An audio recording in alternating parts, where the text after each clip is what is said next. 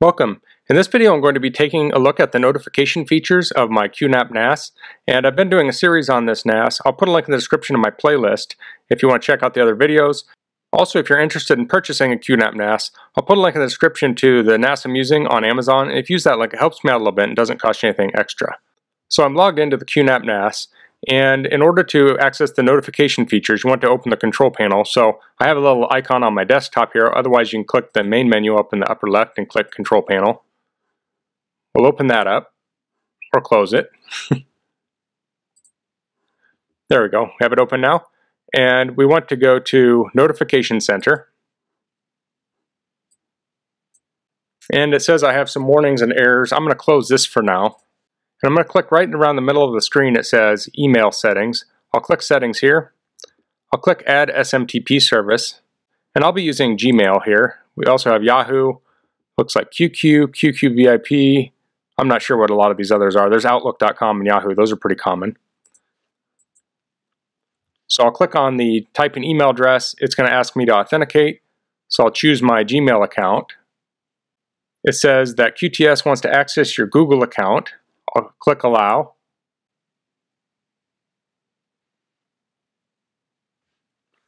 So that's finished. I'll click create. And it says SMTP service has been added. There's a little action over here to send a test email, so I'll click on that. I'll click send. And I just got an email on my phone from this account. So I know it's working now. So you also have the option of SMS. Let's click on that and see what options we have. So it looks like there's different SMS service providers. There's Clickatell, Nexmo, Twilio, and Custom. So you can log into those and you can have it send SMS. I don't really do a lot of SMS notifications. There's instant messaging. We'll add IM account. It looks like we have the option of Skype or Facebook Messenger. And then there's push service. So if we download this Qmanager on our mobile device, it will push alerts to us. So there's quite a few options for setting up notifications. So I like to use email.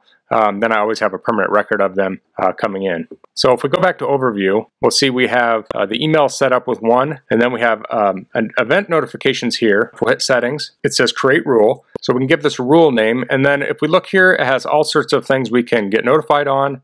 It says advanced network driver installation, uh, scan jobs, app installation, app change, backup and restore settings, DLNA, media server status, general. I mean, there's lots if you scroll down through here.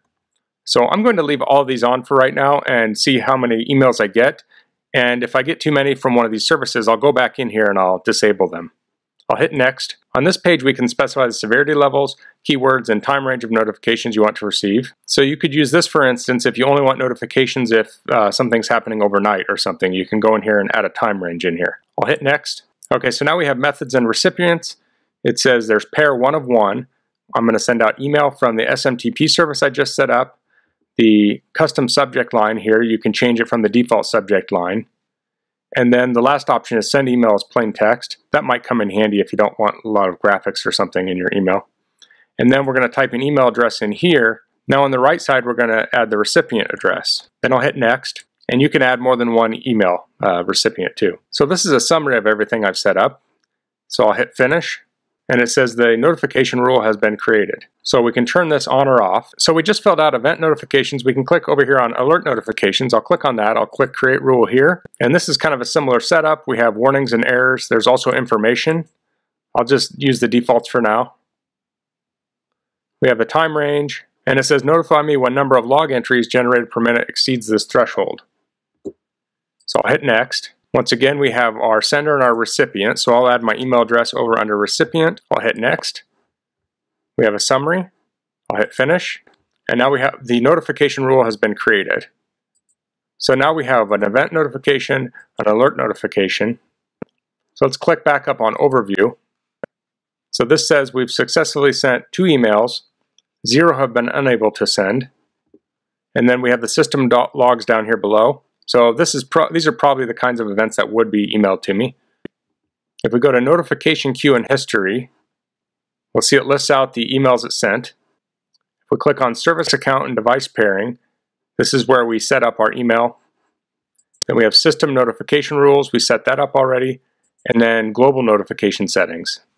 So this has kind of a matrix here of email, SMS, instant messaging, and push service, and the different services on the machine. So you can turn these on or off individually. So that's a quick overview of how you set up Notification Center. I would recommend setting up notifications so you can tell if your drives go bad or other things like that. Um, it's up to you if you want very detailed logging and notifications or if you just want um, alerts for the most severe things. But I'm guessing most people will want some form of notifications, especially if a drive goes bad, you need to change that right away. So if you have any questions about this, please leave it in the comments. If you like this video, please click like. If you haven't subscribed to my channel, I'd appreciate if you could do that. And thanks for watching. Until next time, goodbye.